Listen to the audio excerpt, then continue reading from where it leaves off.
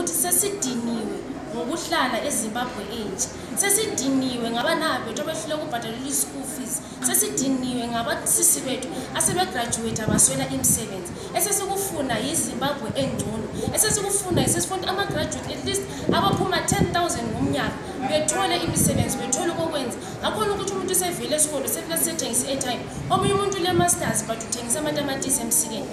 ufuna izimbabwe entsha ezakwanisa ukuthi abontanga nawo bayenelise ukuphathisipetha nawo bayenelise ukuba lela kusasa eli